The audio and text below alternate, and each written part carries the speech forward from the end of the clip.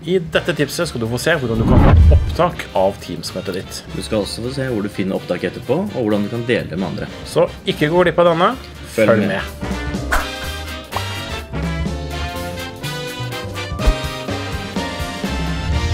Hei og velkommen til et nytt fredagstips. Her sitter Kristian Christian og jeg og forbereder oss til å gå inn i et eh, nytt Teams-møte.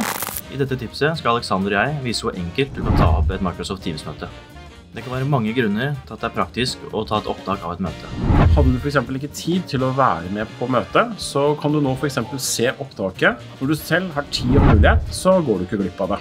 Dersom noen ikke kunne delta i møtet, kan du enkelt dele opptaket, slik at alle får med seg møtet.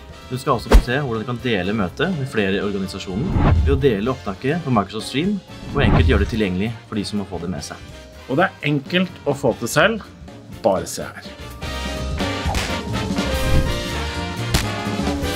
Du kan begynne med å starte opp Teams-møtet ditt. Her er alle deltakerne på plass, C, så nå er det bare å starte opptaket. Det gjør du her ved å klikke på de tre prikkene under flere handlinger og velge Start innspilling. Husk at det er en grei regel å informere alle på forhånd om at du gjør opptak av møtet. Du vil få en påminnelse om det og personvern her oppe øverst i Teams når du velger opptak. Vil du avslutte opptaket av møtet, kan du klikke deg inn på de samme tre prikkene og velge Stopp innspilling. Klikk og bekreft at du vil stoppe opptaket, slik som dette. Eller du kan bare avslutte selve møtet, og opptaket starter opplastning. Når opptaket er lastet opp og klar til å ses, får du denne meldingen i samtalefeltet. Du vil også få en påminnelse på e-post når opptaket er klart. Her kan du enkelt spille av opptaket bare ved å klikke på det, slik som dette. Klikk her på pilen nede til høyre på opptaket, vis i Microsoft Stream, for å aktivere flere muligheter til å dele opptaket med andre i organisasjonen. Inne på Stream kan du enkelt dele opptaket enten via en lenke eller via en e-post slik som dette. Legg inn mottaker her, og avslutningsvis send og lukk. Eller du kan laste ned opptaket som en spillbar video ved å klikke på prikkene og velge last ned video slik som dette.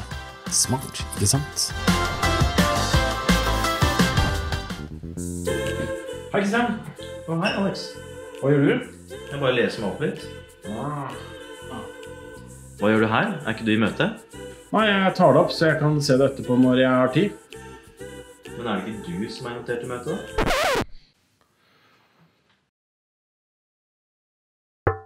Hallo. Var ikke dit her. Jeg må, jeg må gå, jeg.